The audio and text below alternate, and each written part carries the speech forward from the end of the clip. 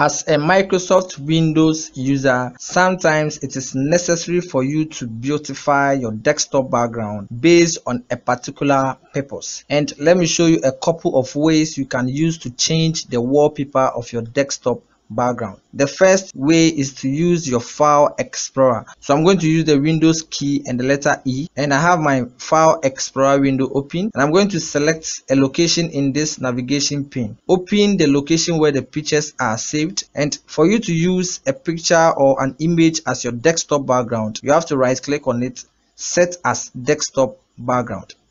Another way to have this done is to right click on the desktop, choose personalize and in the background option we have these pictures you can select.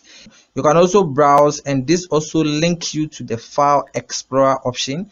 And you can select any image. Use that image and that is going to be your desktop background